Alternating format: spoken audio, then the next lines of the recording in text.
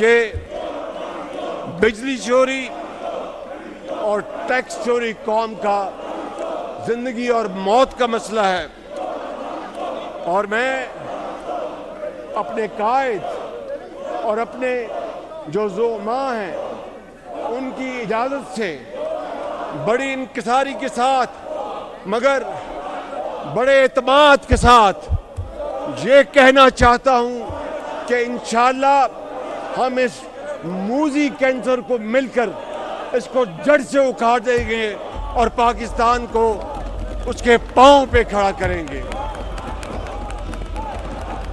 मुश्किल ज़रूर है लेकिन nothing is impossible if there is a will to do it's a long journey thorny journey full of hurdles, but those nations who surmounted these huge obstacles, they became again one of the most going nations around the world. चीन Japan Germany उसकी शानदार मिसालें हैं। मलिया met हो गए जंगे दोम में।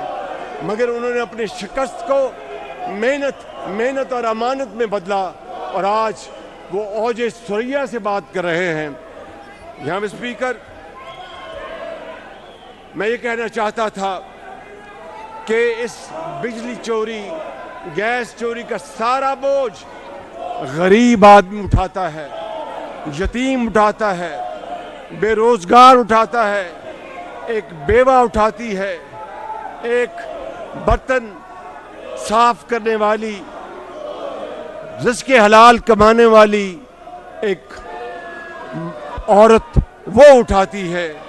और गरीब आदमी ये कहने पर मजबूर है, मट्टी की मोहब्बत में हम आशिफ्ता सरों ने मट्टी की मोहब्बत में हम आशिफ्ता सरों ने वो कर्ज उतारे हैं जो वाजब भी नहीं थे। जनाब स्पीकर, मैं सिर्फ़ आपकी अब तोजो दिलाऊँगा कि दूसरी चोरी टैक्स चोरी को रोकना है। इस अमल की निगरानी ये खादम खुद करेगा और इन मॉडर्न टेक्नोलॉजी कंप्यूटराइजेशन जहाँ पर मिनिमम ह्यूमन इंटरेक्शन हो, उस निज़ाम को, कामयाब मॉडल को हम फिलफौर लेके आएँगे। और जनाब स्पीकर ये जो मैंने मसाइल बताए हैं और जो इनका हल करने का जो अज़म का इजहार किया है इन तमाम लीडरान कराम ने, इसके नतीजे में इंशाल्लाह महँगाई में भी कमी आएगी और रोज़गार भी बढ़ेगा, तरक्की होगी, मुल्क खुशहाल होगा, कर्जों से आहिस्ता आहिस्ता निजात मिलती जाएगी। और इसके लिए मैं और मेरे साथी अपनी जानें लड़ा देंगे, किसी चीज़ को खात्मे नहीं लाएँगे जनाब स्पीकर। और मेरे कायद जो है, वो मुझे हमेशा मना करते हैं कि तुम तारीखें मत दिया करो। इसलिए मैं एहतियात से ये कह रहा हूँ कि हम सब मिलकर कोशिश करेंगे कि इन इकदाम के तकरीबन एक साल में आहिस्ता आहिस्ता समरात आना शुरू हो और गरीब आदमी, यतीम और बेवा की उसकी सुनवाई हो और वो झोलियाँ उठा के वो दुआ करे कि पाकिस्तान हमारा है और पाकिस्तान सबका है। हम सब इसमें अपना हिस्सा डालेंगे और अकवाम आलम में अपना खोया हुआ मुकाम हासिल करके दम लेंगे।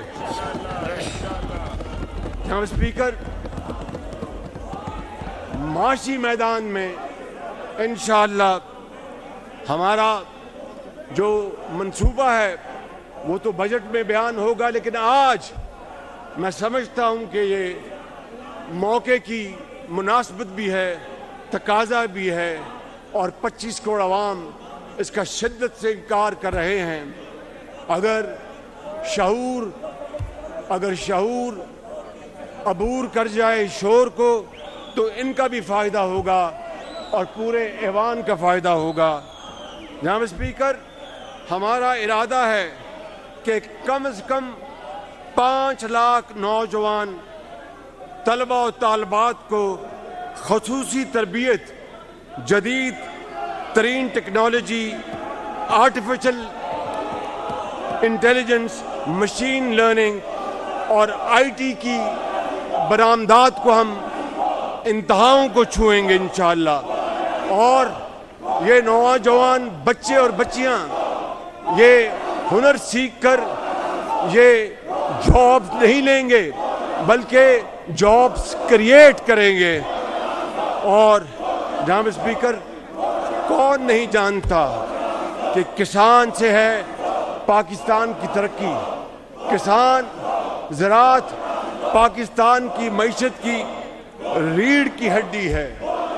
नवाज़ शरीफ साहब के ज़माने में भी प्रेसिडेंट आसिफ जरदारी साहब के ज़माने में भी, भी ज़रात के ऊपर बहुत काम हुआ और बड़े खुले दिल के साथ जो जरी जनाज पैदा करते हैं उनकी कीमतें देने के लिए प्रेसिडेंट जरदारी पेश पेश रहे हैं। और मियाँ मोहम्मद नवाज़ शरीफ ने सस्ती खाद पूरे पाकिस्तान को मुहैया की। मियाँ मोहम्मद नवाज़ शरीफ ने बिजली से चलने वाले गरीब किसान के ट्यूबवेल को इंतहाई सस्ती बिजली मुहैया की। मियाँ मोहम्मद नवाज़ शरीफ ने इनकी लीडरशिप में अल्लाह ताला के फजलो करम से पंजाब में हमने ज़रात की जाली अद्वियात का मुकम्मल तौर पर ख़ात्मा कर दिया। जहाँ स्पीकर, आज मैं ये ऐलान करना चाहता हूँ कि सब्सिडी खाद फैक्ट्रियों के बजाय बर रास्त किसान को दी जाएगी।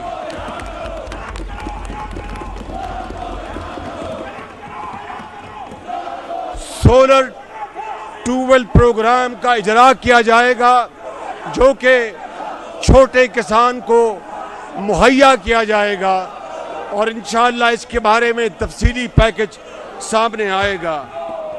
और बीज माफिया को हमेशा के लिए ख़त्म कर दिया जाएगा और दुनिया से आला तरीन बीज मंगवा कर हम अपने किसानों को देंगे ताकि ज़री पैदावार बढ़े और मुल्क आगे बढ़े और ये बीज हम किसान को पहली मरतबा मुफ़्त मुहैया करने की कोशिश करेंगे और इन इसका इससे बेपना फ़ायदा होगा।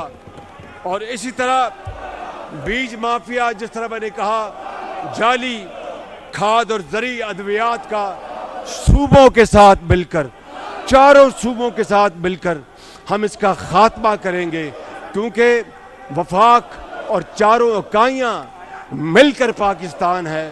और हम सूबों के साथ मैं वादा करता हूँ कि आगे बढ़ के उनके साथ काम करूँगा और वहाँ पर उनकी रहनमाई में हम मिलकर इस अजीम प्रोग्राम को आगे बढ़ाएँगे। और ज़रात और लाइफ स्टॉक के शोबे में हम सनती farms, S I F C के तहत उसको फ़रोग देंगे।